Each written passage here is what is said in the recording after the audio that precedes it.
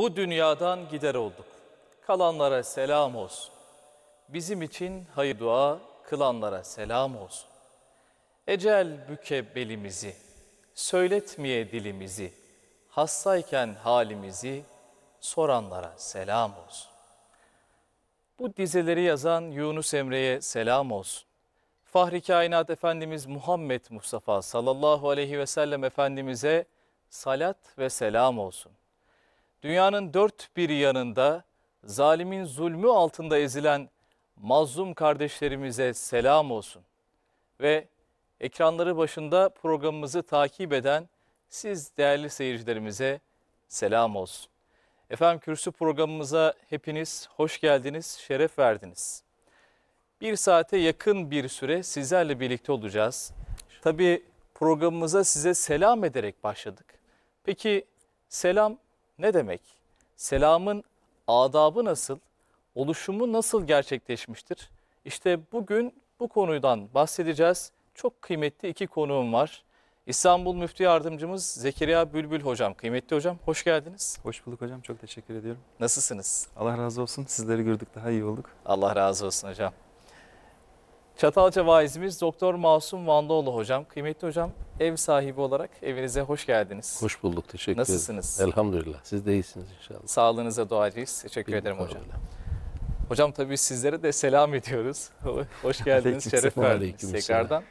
Tabii selam kavramı, hocam geniş bir kavram ve samimi, sıcak bir kavram. Yani bir Müslüman kardeşimizle ya da hiç tanımadığımız bir insanla selamlaştığımız zaman ona karşı bir sevgi bağı, bir samimiyet oluşuyor içimizde.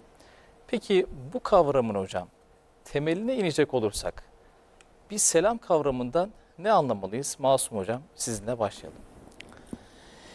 Bizim seçtiğimiz konular bildiğiniz gibi hep Kur'ani konular. Yani bu kürsü programında değerli izleyicilerimiz ve dinleyicilerimizle paylaşmak istediğimiz konular Kur'an'dan alınan konular. Selam da böyle bir konu. Allahu Zülcelal'in özel bir ismi ve sıfatı olarak kullanılıyor. Hani sevgili Peygamberimiz aleyhissalatü vesselamın namazın bitiminde okuduğu, bütün dostlarımızın, bizi dinleyen ve izleyenlerin de yakinen bildiği bir ifade var. Allahümme entes selamu ve minkes selamu. Şimdi bu ifade selamın Allahu Zülcelal'in ismi olduğunu veya sıfatı olduğunu, değişik görüşler var bu noktada, bize net bir şekilde vurguluyor. Evet. Biz bu ifadeye baktığımız zaman bizi yoktan var eden Allahu Zülcelal'in kendisini selam olmakla yani güvenilir olmak, barış sunan olmak, esenlik veren olmakla ifade ettiğini görüyoruz. Kelime Arapça bir kelime, Kur'an'dan kökünü alan bir kelime. Karşı tarafa huzur veren, güven veren, emniyet veren, onunla iletişimi kolaylaştıran anlamında bir kelime. Yani kelimeyi böyle hani özel ifadesiyle dil açısından incelemek değil de sosyal hayatta hissettiğimiz açıdan bakmak istiyorum. Evet hocam. Böyle olunca selam kavramı bize ne kazandırıyor?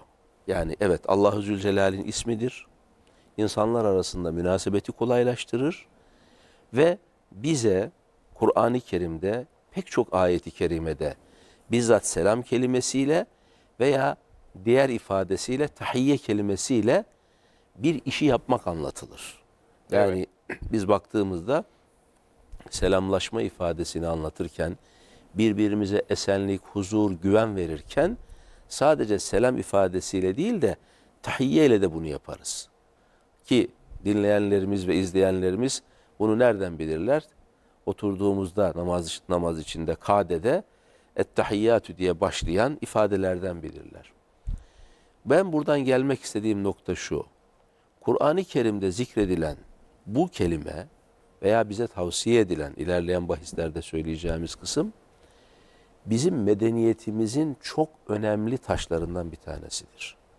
Evet. Her medeniyet kendi ülküsünü, idealini, değişmez kuralını o şe- şehre, o insanlara ve o aleme sunmaya çalışır. İslam medeniyetinde Allah'ın adı olan bu kavram medeniyetin mihenk taşlarından bir tanesidir. Biz buna bakarken bu gözle bakarsak bu da bize şunu anlatır. Öyle bir medeniyet ki hem kendi insanına hem diğer insanlara selam istiyor. Yani huzur ve barış istiyor. Böyle kelimeyi çok gramer açısından incelemeyi sevmiyorum ben. Hissedebildiğimizi konuşmak doğru olan. Evet hocam. Benim bu konuyla ilgili şimdilik ifade edeceğim bunlar Tabii olsun. hocam medeniyetimizin mihenk taşı dedik selam kavramına. Bizim medeniyetimiz de İslam medeniyeti. Kesinlikle. Zaten ki bu selam kavramının bir oluşum hikayesi var hocam. Evet. Hazreti Adem Aleyhisselam'dan başlayan o oluşum hikayesinde Zekeriya hocam sizden dinlemek isteriz. Nasıl oluş- oluşmuştur? Evet, ben de sözlerimin başında e, Rabbimin selam ifadesini, selam e, sıfatını e, bir selamlama metni olarak da ayrıca anmak, zikretmek isterim. Hepinizi saygıyla selamlarım. İzleyicilerimizi de aynı şekilde gönülden selamlarım. E, Hazreti Adem Aleyhisselam e, cennette yaratıldığında Allah Teala onu meleklere gönderir. Der ki git o meleklere selam ver. O meleklerin sana verdiği karşılık neyse onu iyi dinle, iyi öğren tarzında Allah Teala meleklerin yanına Hazreti Adem Aleyhisselam'ı gönderir. Ve Hazreti Adem Aleyhisselam Esselamu Aleyküm diye melekleri selamlar. Ve meleklerin geriye cevabı ise ve aleyküm selam ve aleyke selam ve rahmetullah ifadesi gelir. Yani bir fazlasıyla gelir. Bütün isimleri, bütün esmayı Allah Teala Hazreti Adem'e öğrettiğini, bilgi olarak yüklediğini belirten Mevlamızın selamlaşmayı, selamlaşmayı da yaratılışının hemen başında meleklerle aralarındaki bir diyalog ifadesi olarak kullanmasında elbette bize mesajlar var. Elbette değerli Muhammed Hocamızın, değerli vaizimizin söylediği tarzda e, bize taşındığı aslında manaları var. Yani bir Adem Aleyhisselam'ın cennette ilk yaratıldığında e, karşılaştığı belki Rabbimizin kendinden başka yarattıklarıyla ilk karşılaştığındaki birbirlerine gönül kapılarını açış anahtarı gibi aslında kullanılmış. Ve bir esenlik dilenmiş karşı tarafa. Ama bu esenliğe melekler bir Allah'ın rahmetini de ilave etmişler. Bu esenlik rahmetle beraber birleşince bizim için çok daha farklı kapılar açacağı e, ifade edilmiş. Ve Allah'ın selam isminin e, bereketiyle, rahmetiyle, birlikte anılmasının bize elbette farklı kapılar açacağı zikredilmiş. Bu hikayenin başlangıç kısmını ben bu şekilde hatırlıyorum. Bilmiyorum değerli hocam ifadede Evet. eksik bıraktığımız yön varsa. Hocam tabi burada aslında Hazreti Adem'le meleklerin selamlaşmasından biz bir usul de öğreniyoruz. Değil mi? Evet çok güzel bir yere temas ettiniz. Bir usulü var Ee, ve biz selam vererek aslında karşımızdakine bir eman veriyoruz, bir güven veriyoruz. Ve ona diyoruz ki ben Allah'ın e, barış ve esenlik e, dolu ismiyle size onun e, murakabesi altında bakın selamlaşan iki insanın arasında Allah Teala'nın selam isminin kullanılması bir şahitliğe de aslında delalet eder. Benim size selam vermem sizinle benim aramdaki tüm meseleye, tüm diyaloğa şahit olan bir Allah'ın varlığını ve bizim diyalogumuzda niyet olarak, iç dünya olarak birbirimize barındığımız ne varsa bunu Allah'ı şahit kıldığımızı ve bu şehadetin bugüne ait olmadığını hatta Kur'an-ı Kerim'de geçen bir ayet-i kerime var. Hafız olmadığım için bakacağım hocam kusurumuza bakmazsanız. Billah ki ayet-i kerimeyi biliyorsunuz. Ee, Nisa suresi 86. ayet-i kerimede geçiyor. Orada çok hoşuma giden bir e, kavram var. Yani yakaladığım bir kavram var. Bu aslında benim kendime izah olarak söylediğim bir kavram var. Onu paylaşmak isterim. Estaizu billah. Ve izâ ve izâ huyyitum bi tahiyyetin fehayyu bi ahsene minha ev rudduha. Biriyle selamlaştığınız zaman onu aynı şekilde mukabele edin veya daha zenginiyle, daha iyisiyle ona mukabele edin diyor ama ayet-i kerimenin devamında muhteşem bir yer var. Ne buyuruyor? İnna Allah kana ala kulli şeyin hasibe. Allah her şeyi ama her şeyi bir hesaba, bir ölçüye koymuş. Demek ki bizim selam, selamlaşmamızda da Allah Teala'nın ahiretimize, bizim ukbamıza, geleceğimize dair bir hesabı var. Bu hesap, hesap gününde de demek ki bizim işimize yarayacak bir hesap. Bu hesap seninle ben karşılaştığımda birbirimiz aramızda da murakabe etmemiz, gözden geçirmemiz gereken bir hesap. Bu hesap niyet olarak benim sana selamlaşmanın akabinde neyi getiriyorsam bunun ahiret iz düşümünün benim akıbetimle ilgili olacağına dair beni uyaran bir hesap. Bu hesap sen bana selamlaşma esnasında neyle geliyorsan ben sana daha fazlasıyla geleyim ki hesabımız senin de hesabını artırsın. Benim de hesabımız sevap kalemi açısından artırsın ve bu hesabın sahipliğini Allah Teala kendisini kefil kılıyor ayet-i kerimede ki bu ayet-i kerimenin e, hakikaten bir hesap ifadesiyle bitmesinin bendeki uyandırdığı mana bu ki biz e, mesela biriyle karşılaştığımız zaman tabii bunları da konuşacağız belki hani iki müminin birbirine karşılaştığındaki selamlaşma adabının nasıl olacağı veya işte gayrimüslimlerle selamlaşmayı onlar apayrı bir şeyler ama bizim e, sanki selamda şöyle bir sorumluluk var. Kardeşim biriyle muhatapsan, biriyle karşılaşıyorsan hesap duygusunu göz ardı etme. İkincisi yapacağın her türlü görüşme dilinde değil, gönlünde var olanla da Allah'a karşılık olarak e, Hmm. sunulacak. Ne taşıyorsan gönlünde onu da bir hizaya sokan, onu da bir kalıba sokan, onu da bir terbiyeye sokan bir ifadeki selam. İki müminin arasındaki sadece anlık bir mesele değil. Anlık bir mesele değil. Hazreti Adem'in yaratılışındaki meleklerle selamlaşma ifadesinden Evet. bakın namaz sonunda da hocam çok güzel yere işaret buyurdu. Miraç'tan dönen sallallahu aleyhi ve sellemin meleklerle karşılaşma hikayesini anlatır tahiyyat. Ki tahiyyat da biliyorsunuz biz selamlaşma demektir. Ee, Ben onun hikayesini ilk duyduğumda gerçekten çok etkilenmiştim. Ee, Meleklerle karşılaşıyor sallallahu aleyhi ve sellem ve onları görünce ettehiyyatü lillahi ve salavatü ve tayyibat yani selamlaşmalar, Allah'a övgüler, her şey Allah içindir diye e, onları selamlayınca Hazreti Adem'in selamından sonra belki meleklerin bir insanda aldığı e, direkt selamlar selamlardan birisidir Efendimiz sallallahu aleyhi ve sellemin selamı. Onların cevabı çok güzel. Esselamu aleyke eyyühen nebiyyü ve rahmetullahi ve berekatüh. Selam senin de üzerine olsun. Bakın Hazreti Adem'e de aleyke diye söylemişlerdi. Peygamber sallallahu aleyhi ve selleme de aleyke eyyühen nebiyyü ey nebi ve rahmetullahi Allah'ın rahmeti ve berekatüh. Allah'ın bereketi senin üzerine olsun. Ve Peygamberimiz orada bizi unutmuyor. Bize de hemen orada selamına katıyor. Ee, Esselamu aleyna, selam hepimizin üzerine olsun. Ve ala ibadillahi salihin. Ve Allah'ın salih kullarının üzerine de olsun. Bitmiyor. Ve biz namazdan çıkarken bu selamlaşmayı Peygamberimiz sallallahu aleyhi ve sellemle melekler arasındaki selamlaşmayı bitirince yine bitmiyor. Salli ve barik duaları da bir selamlaşma metnidir. Biz İbrahim'e de selam göndeririz. Peygamber sallallahu aleyhi ve sellemin aline, ashabına da selam göndeririz ki Allah'ın huzurundan o esenlik ve bize barış e, telkin eden Mevlamızın huzurundan gelirken namazdan geliyorsun.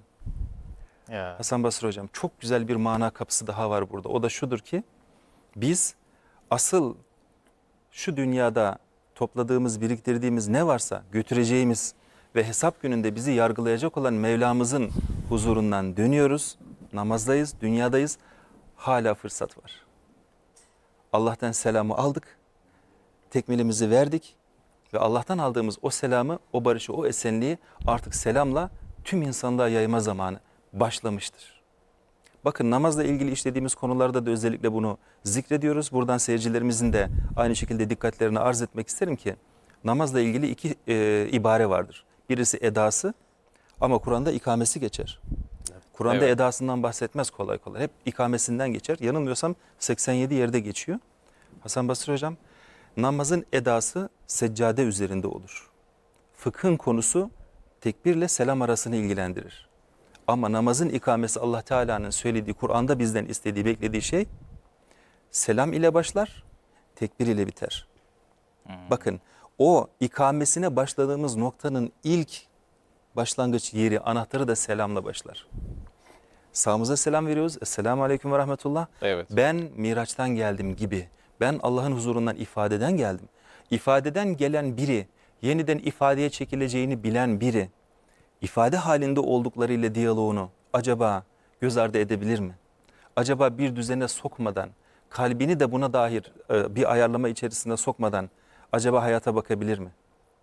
Ki namazın da insana verdiği mükemmel bir esenlik vardır. Evet. Ve o selamla namazdan çıkışın selam konusunu incelerken, iş, işlerken değinmeden geçilmeyecek kadar mükemmel, çok özel, çok müstesna, çok güzel yeri olduğu e, kanaatimi de sizlerle paylaşmak istedim.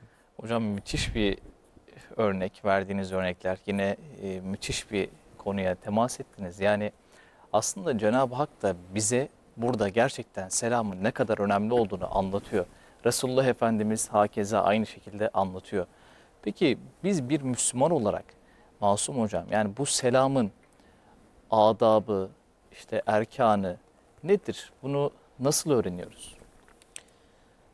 Zekeriya hocamın okumuş olduğu ayeti kerimede Allahu Zülcelal aslında selamın temel prensiplerini de ortaya koymuş. Kur'an'a ait bir kavram olarak iki Müslüman birbiriyle karşılaştıklarında nasıl selamlaşacaklarını çok belirgin bir dille belirtmiş. Orada da selamlaştığınız zaman daha güzeliyle birbirinize karşılık verin. Veya hiç olmazsa aynısıyla.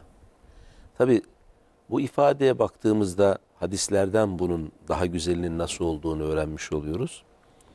Efendimiz Aleyhisselatü Vesselam'ın selamlaşma biçimleri, sahabe-i kiramın ondan öğrenerek aktardıkları bu noktayı bize daha belirgin bir şekilde ifade ediyor. Taraflardan biri Esselamu Aleyküm dediğinde diğeri ve rahmetullahi ve berekatuh ekliyor. Veya taraflardan biri Esselamu Aleyke dediğinde diğeri ve Aleykümüsselam. Özellikle orada vav var hani bağlaç olarak kullanılan Türkçemizdeki ifadesiyle vav'ı ekleyerek bunu söylüyor. Ama asıl bu sözlerin yanında önemli bir nokta daha var ki sevgili Peygamberimiz Aleyhisselatü Vesselam bu konu üzerinde ısrarla durur. Konuştuğunuz kişinin yüzüne bakın. Anlatan kişiyi yüzüne dönerek dinleyin. Biz selamlaştığımız zaman çevremizdeki insanlara selam verirken onların yüzüne dönerek selam verirsek veya onları dinlerken onlara bakarak dinleyecek olursak o takdirde Zekeriya hocamın temas etmek istediği o kalpten gelen sıcaklık kendini göstermeye başlar. Eyvallah. Yani şöyle düşünün bir mağazadan içeri giriyoruz veya herhangi bir yere giriyoruz fark etmez. Bu illa mağaza diye düşünmeyelim. Kapıdan girerken biz selam verdik. İçerideki kişi başı önüne eğik bir vaziyette aleyküm selam dese veya ve aleyküm selam dese bizi mutlu etmez bu. Evet. Çünkü biz Efendimiz Aleyhisselatü Vesselam'dan bir terbiye almışız ki o terbiye muhatabımızın karşımızdaki insanın yüzüne bakmak. Sonuçta telefonla konuşmuyoruz yani. Yüz yüzeyiz. Yüz yüze olan görüşmelerde insanların birbirinin yüzüne bakması sünnetin bize emrettiği, Efendimiz sallallahu aleyhi ve sellemin bize emrettiği önemli hususlardandır. Selamın da en belirgin kısmı budur. Tabi burada bir noktayı kaçırmamak lazım. Belki ileride konuşacağız ama hanımefendilere selam verirken edep dairesi içinde olmasını burada söyleyelim. Bazıları eksik anlar. Yani kadınlara selam verirken, hanımlara selam verirken de böyle bir şey maksadı çıkartma eksikliği olmasın diye bunu da eklemiş olalım. Biz tabi burada şöyle bir şey daha var. Zekeriya hocamın temas ettiği kısma bir cümle eklemem lazım. Evet. Bizim bütün kitaplarımızda ve Efendimiz sallallahu aleyhi ve sellem ile ilgili e, bizim okumuş olduğumuz o dua sözlerinde ki hani sürekli söylüyoruz sallallahu aleyhi ve sellem veya onun dışında işte es-salatu ve selamu aleyke diyoruz. Şimdi salat ben bekledim onu ama bir kısmını da bana bıraktı sağ olsun Zekeriya hocam. Salat kelimesi aslında bir insana dua etmek demek. Güzel. Genel manada dua, özelde namaz. Selam da esenlik dilemek demek. Evet. İlginç olan durum, hani çok iyi bir yere geldi. E, Dua ile esenlik dilemek aslında neredeyse mana olarak aynı. Fakat ikisi hep birlikte kullanılıyor. Şeyde Bukhari ve Müslim'de geçen bir hadis-i şerif vardır. Ee, Efendimiz Aleyhisselatü Vesselam'a Ebu Evfa'nın, Abdullah bin Ebu Evfa'nın e, evinden bir tabak hurma gönderiliyor. Aleyhisselatü Vesselam'ın evine Ebu Evfa oğluyla hurmayı gönderince Aleyhisselatü Vesselam bundan çok memnun kalıyor. Ve bunun üzerine gelen çocuğa, hurmayı getiren çocuğa duyuracak şekilde şöyle bir ifadede bulunuyor. Allahümme salli ala ali Ebi Evfa. Ya Rabbi Ebu Evfa ailesine rahmetinle muamele eyle anlamında böyle tercüme ediyorum. Salli Evet. rahmet eyle, bereket eyle. Hani okurken emsile binaya başladığımızda ilk şey vardır. Allah'tan rahmet, meleklerden istiğfar, müminlerden dua ibaremiz vardır ya. Salat kelimesine bu manayı veririz. Böyle bir dua ile karşılık verince tabi öbür taraf bundan çok mutlu oluyor.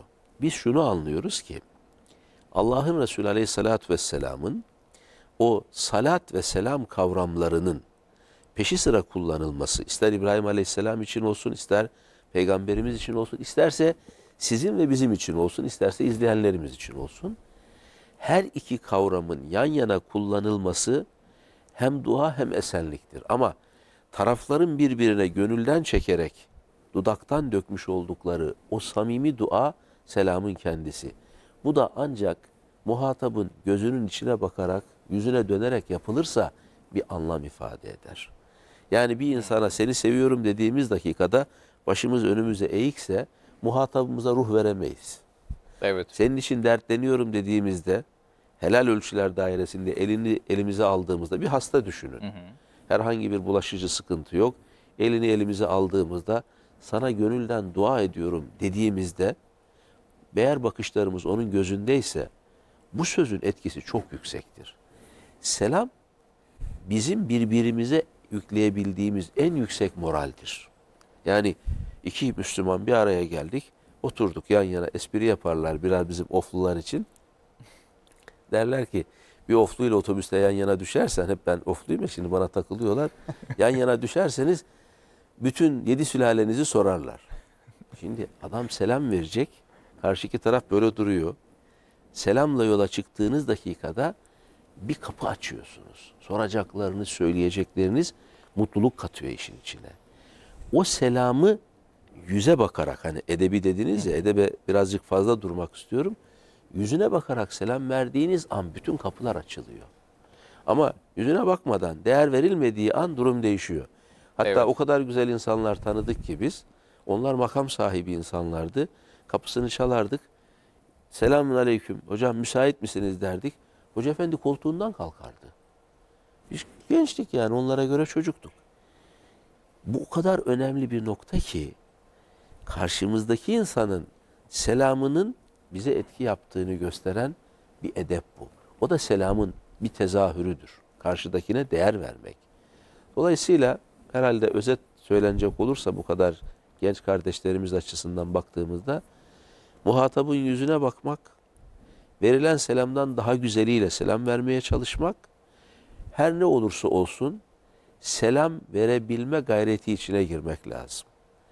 Herhalde sonraki hadisleri devam edeceksiniz. Evet Burada hocam. keseyim ben. Ee, şimdi tabii hocam burada bahsettiğiniz örneklerden de işte kişi samimiyetle karşıdaki kişinin yüzüne bakarak, gözlerinin içine bakarak işte selam verdiği zaman aralarında bir bağ oluşuyor. Bir sevgi bağı oluşuyor. Yani bir birlik ve beraberlik ruhu oluşuyor baktığımız. Bununla alakalı hocam vaktiyle Allah nasip etti Umre'ye gittik. E, Medine'de hiç tanımadığımız insanlara böyle giriyorduk işte Esselamu Aleyküm ve Rahmetullah deyip anında sarılıyoruz böyle birbirimize. Yani öyle bir sevgi var ki sanki yıllardır tanışıyoruz. Birbirimize aradaki muhabbet 30, işte 30 yıllık muhabbetimiz var gibi böyle bir samimiyet oluşuyordu. Yani buradan bakacak olursak Zekeriya Hocam selamın ferdi ve toplumsal hayatta da bazı faydaları var. Biz bunu çıkartabilir miyiz bu noktada? Elbette. Şimdi bakın e, hocam çok güzel yerlere temas etti. Bir cümleyle de ben hocamın e, ifadesinin e, arasına bir şey sıkıştırmak istiyorum. Çok e, gerçi kemali e, lisanla hallettiler meseleyi ama e, selam verirken birbirimize dönmenin bizim hem ruhumuz hem de birbirimizle muhabbetimiz açısından bir e, örneğini verdiler çok isabetli bir kararla. Ki e, biz namazda da bakın normalde sağa sola bakmak namazı bozar. Yani dışarıdan bakanın e, en azından halel getirir Evet. namaza.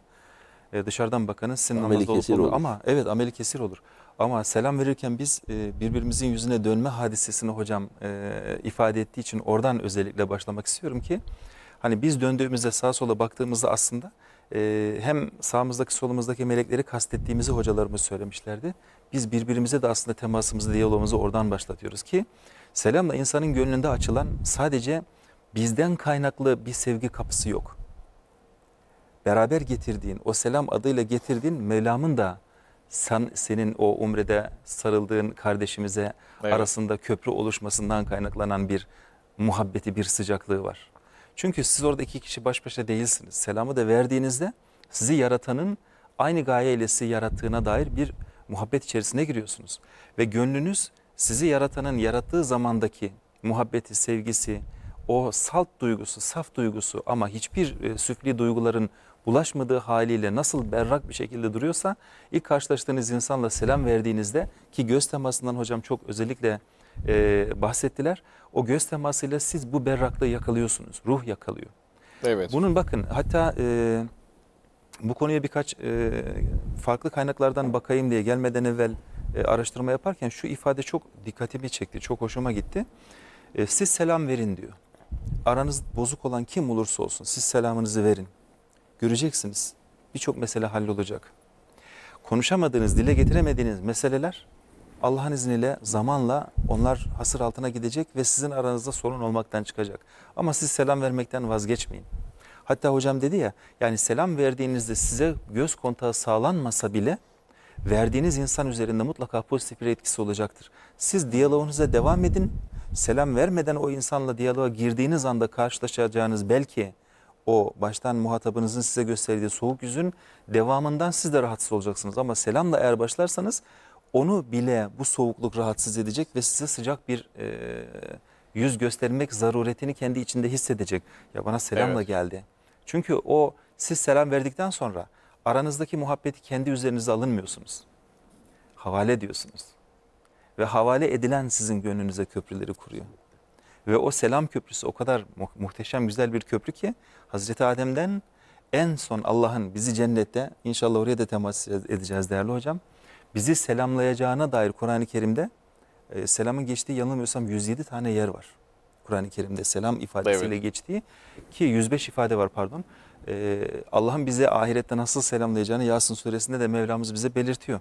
Ve ahirette cennette bizi nasıl selamla karşılayacağını ve bizim ondan mutluluğumuzun nasıl olacağını kaynaklardan yine öğreniyoruz ki biz aslında hani e, bir Allah razı olsun ifadesi de aslında bir selamdır. Bunun da çok güzel bir hikayesi var hocam. Hani yeri gelmişken ona da temas etmek Lütfen isterim. hocam.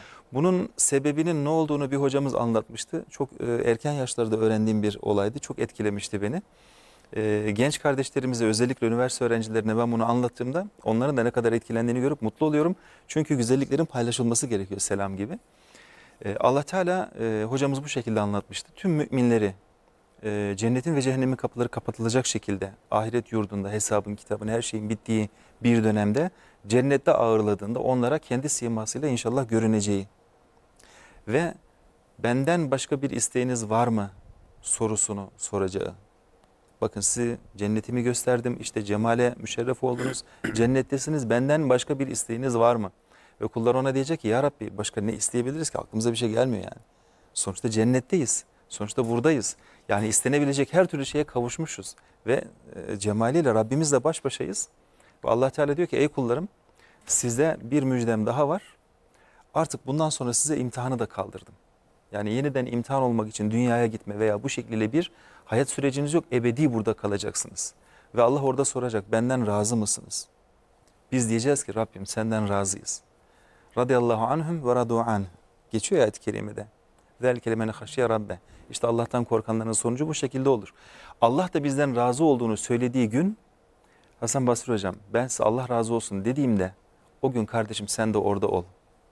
O gün o rızaya sen de muhatap ol. Evet. O gün oradaki o muhabbet ortamından sen de nasiplen anlamında ta geleceğe biz aslında gönderme yapıyoruz, selam veriyoruz. Bizim selam sadece e, salt olarak birbirimizi birbirimizle karşılaştığımızda birbirimize temasımızın ilk cümlesi olarak değil. Birçok faaliyetimizde, birçok eylemi, eylemimizde Allah Teala'nın bize sunacağı o rahmetin, o bereketin, o iltifatın, o e, lütfun her birinin aslında bize karşılayacağı güne de bir atıf yapmak suretiyle biz selamlaşırız ki Allah razı olsun ifadesi de bu manada güzel bir selamlaşma örneğidir. Hocam tabii yani burada selamın mesela önemine dair birçok şey konuştuk. Tabii bunların hepsi bir Müslüman için çok güzel anlamlar ifade ediyor. Ama şimdi toplumda gayrimüslimler de yaşıyor. Farklı inanca sahip insanlar da yaşıyor.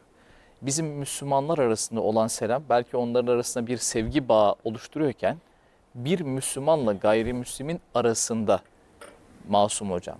Yani selamlaşma nasıl olmalı veya bu selamlaşma yani o gayrimüslimin kalbini İslam'a ısındırabilir mi? Şimdi insanoğlu biliyorsunuz iltifatı sever. İnsan birbiriyle hani meşhur bir sözümüz var bizim. İnsanlar konuşa konuşa, hayvanlar koklaşa koklaşa anlaşır. Bizim beraber yaşamış olduğumuz insanlara karşı bir Müslüman olarak sorumluluğumuz var. O sorumluluk nedir? Davet sorumluluğu, tebliğ sorumluluğu, onlara emri bil maruf yapma sorumluluğu. bir insanla iletişim kurabilmek için bizim bir şeyler söylememiz lazım. Bu yola girerken muhatabımız olan kişiler komşularımızdır veya iş arkadaşlarımızdır veya yolculuk yaparken yanımıza tesadüf eden yol arkadaşlarımızdır. Şimdi biz bir Müslüman duruşu sergilemeliyiz. Bu insanlara örnek olmalıyız. Ama örnek olmanın başlangıcı o insanların size iletişim kapılarını açmasıyla mümkün olur. İletişim kapılarını açabilmek için onlara uygun olan bir dille ya merhaba ve selamun aleyküm veya neyse o dilde konuşulan, o bölgede konuşulan ifadeyle başlamak lazım. Şimdi bazen şöyle cümleler oluyor. Ya inanmayan birine selam vererek Allah'ın rahmetini ona diliyorsun. Peki biz anlatırken şöyle demiyor muyuz? Kainatta var olan insanlar iki sınıfa ayrılır. Biri ümmeti davet, öbürü de ümmeti icabet. Evet. Ümmeti davet, bütün kainat davet edilenlerdir. Allah'a kul olmaya, Müslüman olmaya davet edilenlerdir. Ümmeti icabet de bu daveti kabul eden Müslümanlardır. Bu insanları davet ümmeti yani Allah'a kul olmaya davet ederken bir sözle giriş yapmamız gerekiyor. Ya biz bu insanları çağırırken merhaba diye başlayabilirsiniz artık neyse veya selam selamun aleyküm dersiniz. Bu şekilde bir girişle karşımızdaki insanla iletişim kurmak zorundayız. Bu mesele bizim ülkemiz açısından bakıldığında pek sıkıntılı görünmez. Ama örnek verelim. Bizim e, Müslüman Türk soydaşlarımız var, kardeşlerimiz var Batı Trakya'da, Bulgaristan'da, Bosna'da ve diğer taraflarda. Oradaki insanlarla bir iletişim kuracaklar. Onlara kendi kavramlarını yitirmeden onları dine davet edip karşılıklı bir iletişim noktasında bir sıcaklık oluşturmaları lazım. Evet. Eğer onlara karşılaştıklarında direkt isimleriyle hitap ederlerse veya kapıdan girdi başka bir cümle söylerse iletişim kuramaz. O insanlara usulü dairesinde girdiğinde bölgenin kullandığı ifadeler var. Mesela ben şeyde bunu görmüştüm Sancak bölgesinde. Onlar hayırlı sabah diyorlar bizimkiler. Halbuki Boşnakça konuşuyorlar. İslami terminoloji Boşnakçanın içine oturmuş. Çünkü onlar vaktiyle de tek tanrı inancına sahip Boşnaklar, Bogomil diyorlar onlara. Sırplarsa sabah için ayrı bir ifade kullanıyorlar. Yani işte dobro jutre diyorlar onlar kendi ifadeleriyle. Günaydın anlamına geliyor. Şimdi biz karşımızdaki insanı bir şekilde bir yere davet etmeliyiz. Fakat muhatap şöyle anlarsa, bunlar bana selam vermiyor, ben Allah'ın rahmetini hak etmediğimi düşünüyorlar diye anlarsa o gayrimüslim bizimle iletişim kurar mı? Mümkün değil. Kurmaz. Yani seçilecek olan sözler, ifadeler her daim kucaklayıcı ifade olmalı. Başında söylemiştik ya hani selam bizim medeniyetimizin temel taşlarından birisi. Evet. Bunu eğer toplumun içine koyamazsak medeniyeti inşa edemeyiz. Allah'ın Resulü Aleyhisselatü Vesselam'ın hadis-i şerifte çok net ifade ettiği bir konu var. Bütün dostlarımız, izleyenlerimiz biliyor hani. Efendimiz ne buyuruyor? Size başlıyor sözüne başlarken işte öfkelenmeyin, birbirinize haset etmeyin, buğz etmeyin. Devam eden hadis-i şerifte kardeş olun ifadesi var. Eğer size size e, birbirinizi sevdirecek ameli öğreteyim mi? Size bir amel öğreteyim ki onun karşılığında birbirinizi sever hale gelirsiniz. Selamı aranızda yayın. Selamı aranızda yayın ifadesi o kadar geniş bir ifade ki gerçekten bizim yaşadığımız toplumu huzura erdirecek olan bir ifade. Tabii biz bu ifadeyi kullanırken karşımızdaki insanlara yani ne diyelim e, şu, şu, şu- böyle çok uçuk ifadelerle değil ama bir selam olduğunu, gerçekten onunla iletişim kurmak istediğimizi bir dille anlatmak zorundayız. Kelimeleri seçerken dikkat etmeye çalışıyorum. Bazı arkadaşlar ya gayrimüslime de selam mı vereceğiz falan diye takılıyorlar çünkü. Evet. Ben bu noktada şöyle düşünüyorum. Muhatabımız olan insana bu ülkenin ortak dili ile kullanılan selamı verdiğimiz takdirde müsbet neticeler alacağımız kanaatindeyim. Çünkü onun için ben hidayet dilediğime niyet edersem Allah Celle Celaluhu hidayetini yaratır. Yani o selam da belki o kişinin Müslüman olmasına bir kapı olur İşte hocam. ben Allah'tan ona selam verirken hidayeti ona yaratmasını niyaz ederek selam veriyorum. Ya Evet. Rabbi sen bu kuluna hidayeti yarat. Çünkü yaratma gücü onun elinde. Bizim elimizde değil. Bize bu fırsatı veren o. Buradan hareket etmek suretiyle biz selamı yaymak zorundayız. Kiminle olursak olalım. Büyük, küçük, çocuk, kadın, erkek, ne bileyim aklımıza gelebilecek toplumun her kesimindeki insanla. Dikkat Evet. edin, siyasi hayatta başarılı olanlar, idari hayatta başarılı olanlar, beraber çalıştıkları insanlara geçerken önüne bakarak geçerler değil, sağına soluna dönerek diliyle selam veren, eliyle onları selamlayan, bakışlarıyla onlara selam verdiğini hissettiren kişilerdir. Ki Efendimiz Aleyhisselatü Vesselam'da da bunu zaten görüyoruz yani. Evet. Yani yine günümüzde dediğiniz gibi sevilen insanlar genelde selamı yayan insanlar oluyor. Kesinlikle. Hocam şimdi böyle e, selam kavramı, şimdi Masum Hocam sohbetimizin en başında belirtti. Cenab-ı Hakk'ın selam ismi var. Bu isminde aslında bir tecellisi, yansıması yani insanların üzerindeki bu selam kavramı. Peki Cenab-ı Hakk'ın isminden yola çıkarsak, o selam isminden, o ismin biz canlı ve cansız varlıklar üzerinde etkisini nasıl görüyoruz? Değerli hocam çok güzel bir soru. Ee, biliyorsunuz Allah Teala'nın 99 esması var.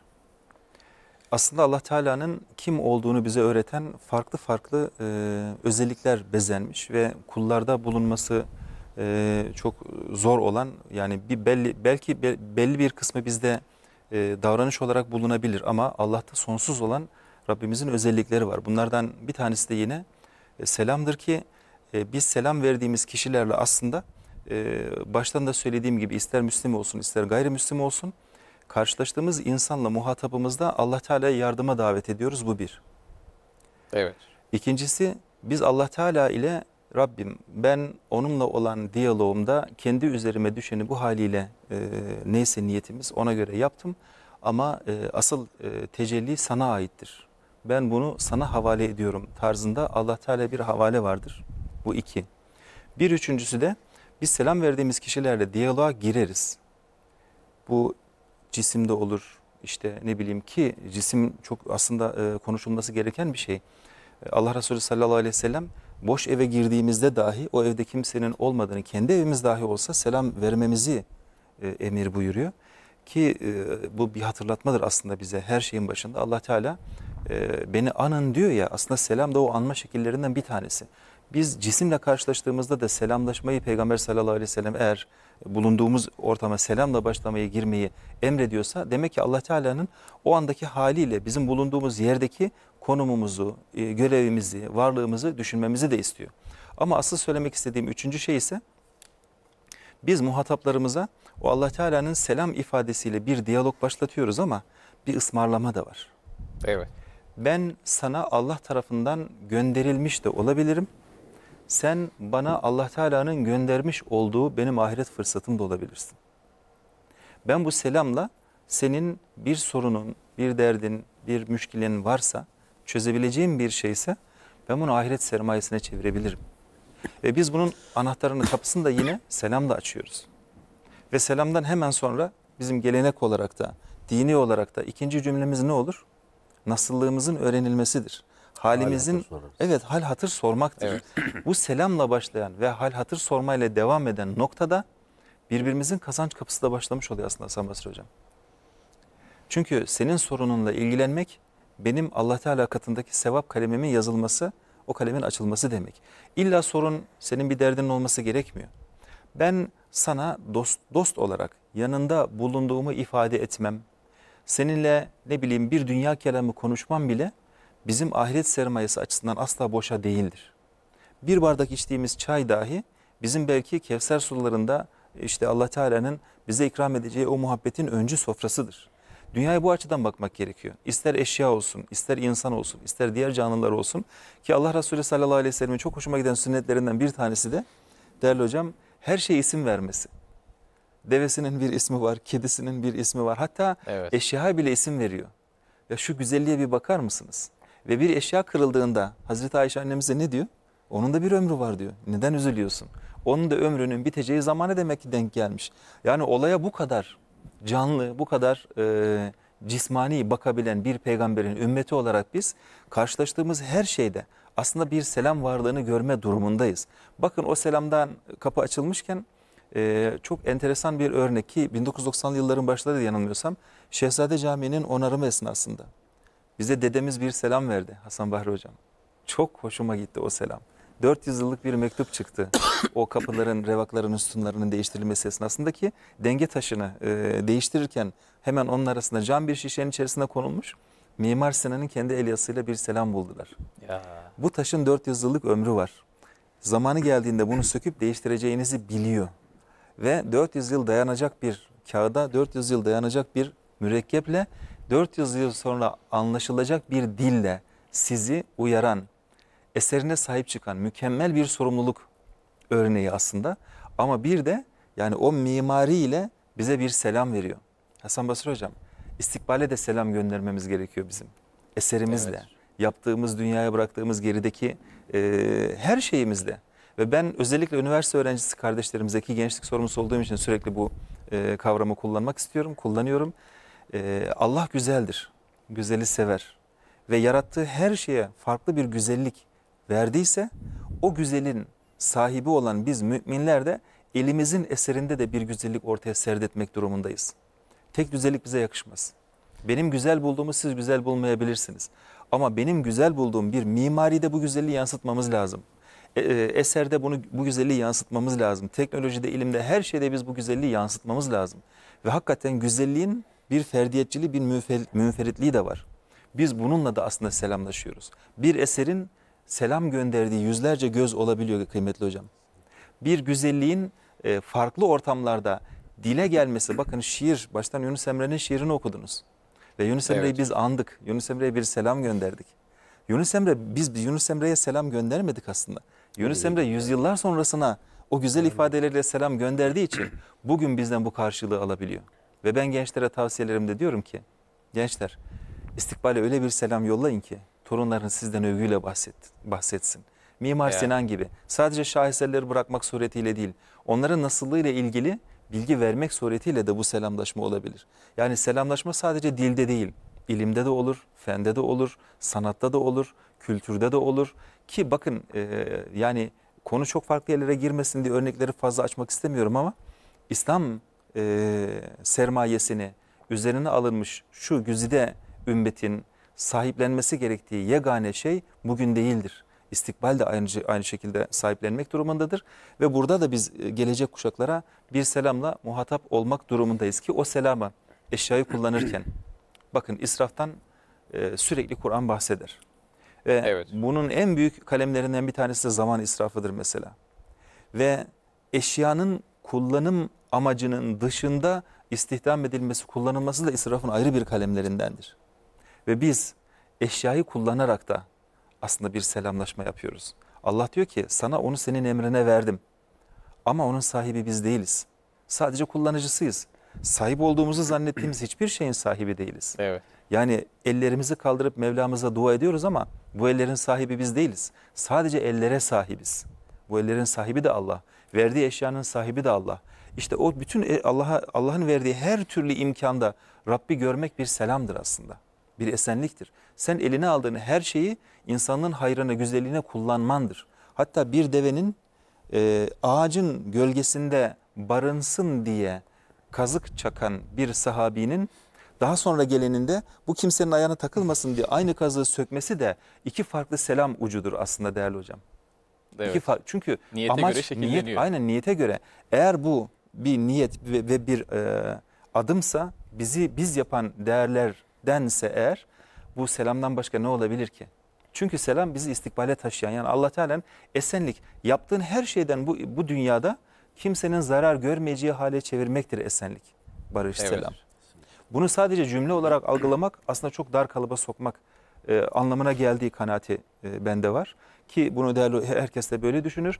Müslüman selamını öyle vermeli ki değerli hocam. Bir sanat eserine baktığında bakanın ondan ki bir Japon'dan bahsedilir.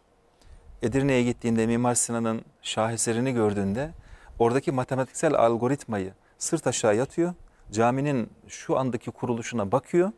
O muhteşem eserin kuruluşuna bakıyor ve bu, bu diyor yani insani olamaz diyor. Bu insani olamaz. Bu yani rahmani bir şey. Oradan bir alıntının e, bir ürünü eserimizde biz bunu göstermemiz lazım. Hocam az önce buyurdu ya yabancılarla e, diyalogumuzda bizim Evet. e, selamla başlayan, onun kalbini açacak işte o selam eserde de aslında kendini gösterir. Ya Müslüman bakın hani e, sokaktayız. Bugün işte e, yoğun kar yağışından insanlar muzdarip oldular. Hasan Basri hocam bir arabanın uygunsuz şekilde park edilmesi de bir selam örneğidir. Ama kötü bir selam örneğidir. Ya. Müslüman selamını böyle vermeli. İçeriye Evet. girdiğinde hani çok af buyurun abdesthaneleri bile kullandığımızda çıktığınız zaman geriye bıraktığınız eser de bir selamdır aslında. Buradan Müslüman çıkmış. Dedirtmeli her halimiz, her tavrımız. Ve selama bu açıdan bakılması lazım aslında. Yani, Yani- aslında selamı aktarabilmek için hocam kişi örnek bir şahsiyet olması lazım. Yani bir iz bıra- bırakması lazım. Hani e, şöyle bir e, ifade vardır. İşte baki olan gök kubbede Hoş hoş, bir- bir, sadaymış. Yani hoş bir sada bırakmak lazım. İşte sizin de ifade ettiğiniz gibi mimari bir yapıyla olabilir bu. Bir kitapla olabilir. Ama her şeyden önemlisi karakter olarak düzgün bir Müslüman olarak olmalıdır. E, Buradan da mesela Masum Hocam aslında selamın gelecek nesillere nasıl aktarılması gerektiğini de bu şekilde görüyor muyuz hocam? Tabii şimdi çok affedersiniz. Estağfurullah. Selamı Efendimiz Aleyhisselatü Vesselam'ın yaydığı sahaları hocam epey bir detaylandırdı. Biz e, boş evlere veya evlerimize girdiğimiz zaman ailelerimize, kabristanlara gittiğimiz zaman ölülerimize Evet. hep selam veririz. Bize mekana selam vermeyi öğreten ifadeler vardır. Hani selamı ebedileştirebilme meselemiz var ya sorunuz ve demin başından beri konuştuğumuz konu. Bizim büyük camilerimize girdiğinizde kapıda cennete giren ve cennete, cennete Allahu Zülcelal tarafından kabul edilen kulların duymuş oldukları selam çok güzel hat örnekleriyle yazılır. Selamun aleyküm tibtüm fedhuluha halidin. Selam size olsun. Siz tertemiz oldunuz. Haydi cennete ebedi kalıcılar olarak girin. Şimdi bizim hattatlarımız çok akıllı insanlar. O büyük mabedi Mimar Sinan affedersiniz yaparken o yazılar, ayetler, hadis-i şerifler seçilirken Kur'an-ı Kerim'den seçilmiş. Caminin kapısından içeriye giren insana cennete giriyormuş hissini veriyor. Bir mümin o camiden içeriye girdiği anda kendisini cennette hissetsin. Ona bunu kazandırma gayreti var. Böyle olunca nesiller sonrasına, çocuklara, gençlere ve topluma önemli bir selam yayılıyor. Şimdi biz selamı nasıl ebedileştireceğiz? Bizim problemimiz bu. Selamı ebedileştirebilmek sadece sözcüklerle olmuyor. Bunu insanların önünde biliyorsunuz her meslek grubunun idealleri vardır. En zirve sözü vardır. Mesela ayet-i kerimede Mevla Teala şöyle buyuruyor. Havacılara özellikle bugün için havacı olan kişilere anlatılabilecek bir ayeti kerime. Estağfirullah. Ve fis semai rizkukum ve ma tuadun. Size vaat edilenler rızkınız ve size vaat edilenler göklerdedir. Bu ayeti kerime. Ben bunu bir dostum için bir hattata yazdırdım ve verdim. Şimdi insanoğlu ayeti kerimeyi her okuyuşunda anlamaz. Evet.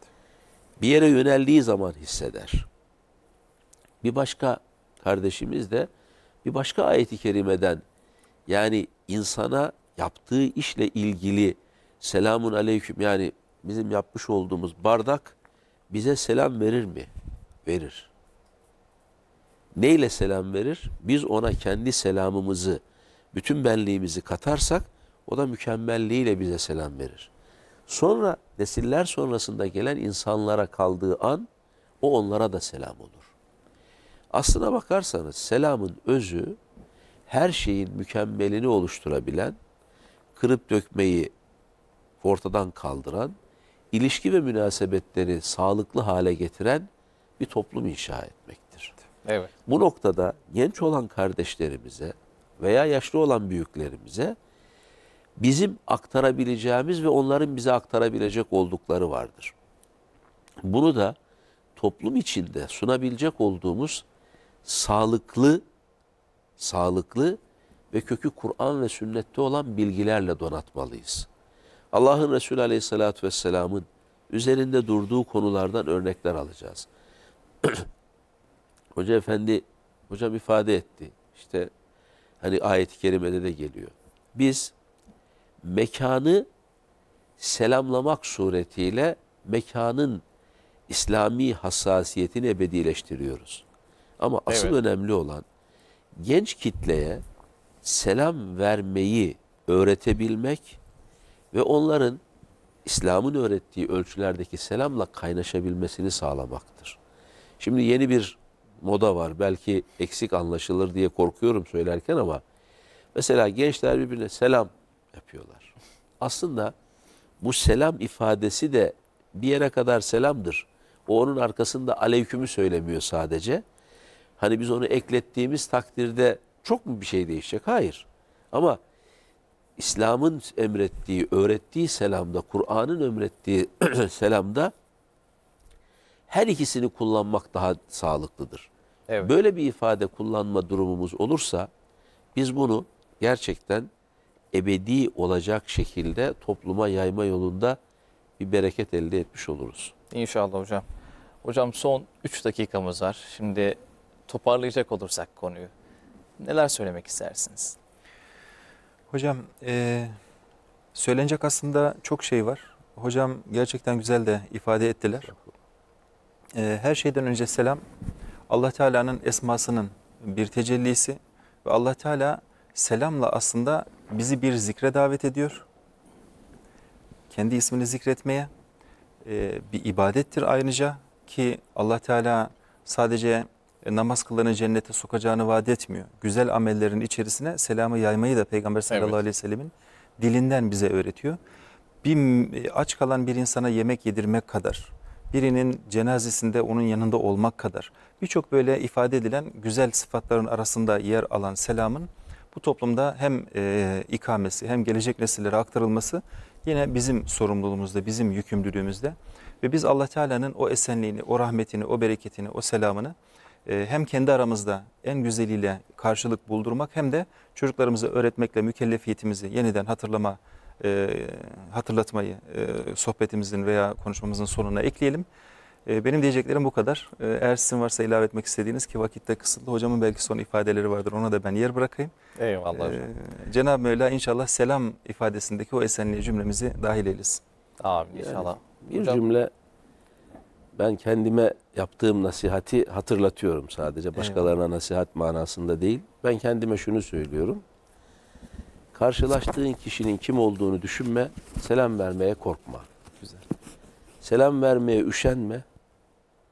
Selam verdiğin kişinin mutlaka sana müsbet döneceğini ümit et ve bu ümitle selamı yaymaya çalış.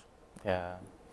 Benim ölçüm bu. Allah razı olsun. Hocam çok teşekkür ederiz. Zekeriya Hocam Allah razı olsun. Bizi kırmadınız, teşrif ettiniz. Çok teşekkür ederiz hocam. Biz teşekkür ediyoruz davet ettiğiniz için değerli hocam. Kıymetli seyircilerimiz Kürsü programında bugün İstanbul Müftü Yardımcımız Zekeriya Bülbül Hocam ve Çatalca Vaizimiz Doktor Masum Vanlıoğlu Hocam'la selam konusunu işledik. Selamın öneminden bahsettik. Resulullah sallallahu aleyhi ve sellem Efendimiz'e nakledilen bir hadis-i şerifte iman etmedikçe cennete giremezsiniz. Birbirinizi sevmedikçe iman etmiş olmazsınız. Size birbirinizi seveceğiniz bir şey söyleyeyim mi? Aranızda selamı yayın. Rabbim cümlemizi selamı yayan ve selamı yaşayan insanlardan olmayı nasip eylesin. Tekrar görüşünceye dek Allah'a emanet.